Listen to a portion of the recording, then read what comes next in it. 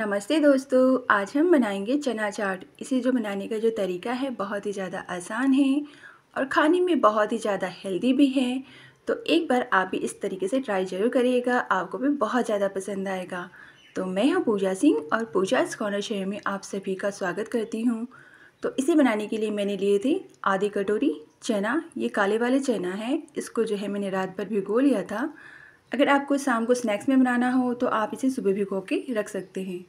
अब जो हम एक प्रेशर कुकर लेंगे, उसके अंदर हम चना को डाल देंगे।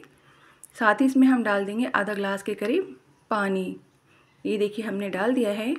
अब इसके अंदर हम डाल देंगे थोड़ा सा नमक, जिससे कि चने के अंदर जो है थोड़ा सा नमक आ जाए। बाद में डालने से क्या होगा, उसके अंदर, चने के अंदर जो है नमक नहीं आता है।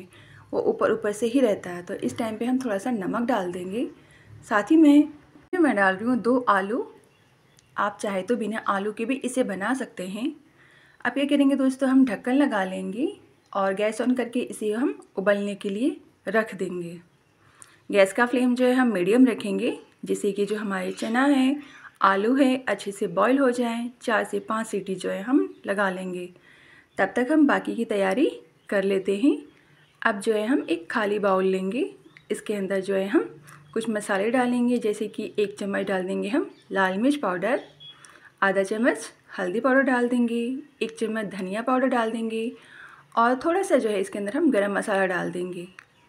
आप चाहे तो इसकी क्वांटिटी और भी आप बढ़ा सकते हैं अपनी क्वांटिटी के हिसाब से। थोड़ा सा पानी डाल देंगे और अच्छे से मिला करके इसे जो हम रख देंगे, जिससे कि हमारे जो मसाले हैं वो अच्छे से फूल भी जाएँगे और जल्दी से भुन भी जाते हैं। तो ये देखिए हमने चला लिया है, इसको हम रख देते हैं।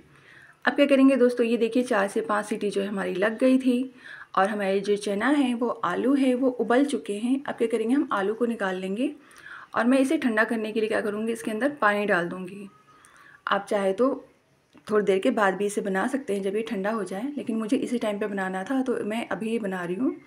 अब हम गैस ऑन करेंगे और एक पैन या कढ़ाई रखेंगे, उसमें एक चम्मच सरसों का तेल डाल देंगे।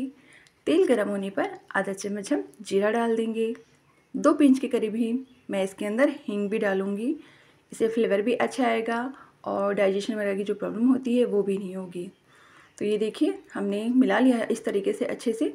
आप चाहे तो इसे कलछी या चम्मच से भी मिला सकते हैं। जीरा जो हमारे चटक गए हैं। अब इसके अंदर हम अपने मसालों को डाल देंगे जो हमने बना के रखा था। थोड़ा सा पानी भी डाल देंगे जिससे कि मसाले जले नहीं। तो ये देखिए हमारे मसाले भी जो है, दो से, मुश्किल से दो मिनट लगते हैं मसालों को भुनने में। और ये भुन गए हैं, अब इसके अंदर हम डायरेक्ट जो हमारी जो चना था ना, उसको पानी के साथ ही इसके अंदर हम डाल देंगे।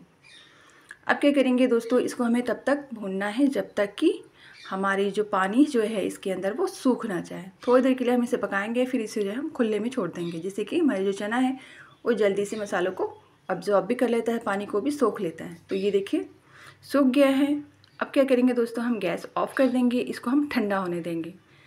ठंडा हो गया है, देखिए। ये देखिए, मैंने अलग बर्तन में जो है इसे निकाल लिया था। अब क्या करेंगे इसके अंदर? जो हमने आलू बॉईल करके रखा था, उसको भी जो है हम टुकड़ों में इस तरीके से काट लेंगे। आप क्वांटिटी को कम या ज़्यादा कर सकते हैं। साथ ही मैं इसमें डाल रही हूँ, मैं थोड़े से खीरे, जिससे कि हमारा जो चना चाट है, वो बहुत ज़्यादा हेल्दी हो जाए। थोड़ा सा प्याज डाला है मैंने, और थोड़ा सा टमाटर भी डाले हैं, और दो हरी मिर्च भी मैंने डाली है। थोड़ी सी हरी धनिया पत्ती डाल देंगे इसके फ्लेवर को बढ़ाने के लिए और थोड़ा सा जो है इसके अंदर हम नमक भी डाल देंगे। थोड़ा सा डालेंगे इसके अंदर हम क्या? चाट मसाला, एक चम्मच के करीब। अगर चाट है तो चाट मसाला तो डालना बनता ही है। और एक चम्मच के करीब ही इसके डाल देंगे हम नींबू का रस। फिर देखिए हमारा जो चना चाट है, कितना ज़्यादा टेस्टी बनता है। आप चाहे तो इसके में चटनी भी डाल सकते हैं, कोई अपनी मनपसंद जो भी आपको पसंद हो। उससे जो, उससे भी जो इसका फ्लेवर बहुत ही ज़्यादा अच्छा आता है। इसे जो है हम अच्छे से मिला लेंगे। दोस्तों चाय चाट है तो इसमें मसाला ज़रूर डालिएगा। इससे टेस्ट बहुत ज़्यादा अच्छा आता है। तो आपको कैसी लग रही है मेरी रेसिपी मुझे कमेंट बॉक्स में ज़रूर बताइएगा।